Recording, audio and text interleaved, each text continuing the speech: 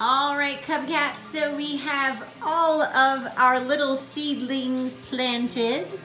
Um, so what happened was in this reservoir here, I'm gonna show you, in this reservoir is our water. I know it's a little bit hard to see, but there's water, there's a filter, a pump that's pumping and a filter that's pumping the water.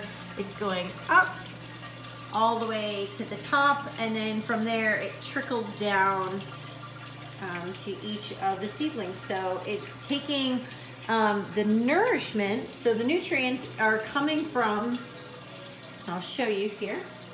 The nutrients are coming from this liquid here. So it's the mineral blend. So we have an A and we have a B. You want to add in here? So we have A and we have B. So each of them adds something else. So like Thomas talked about the other day, uh, when he talked about the three numbers. So we're combining a 200 with a 013. And what that's telling us, when we look at the back here, that just like the soil, we still want a pH level between a 5 and a 7. That's going to be uh, the best soil. So what it's doing is it's taking these nutrients and it is ensuring that our plants are getting the right combination of nutrients.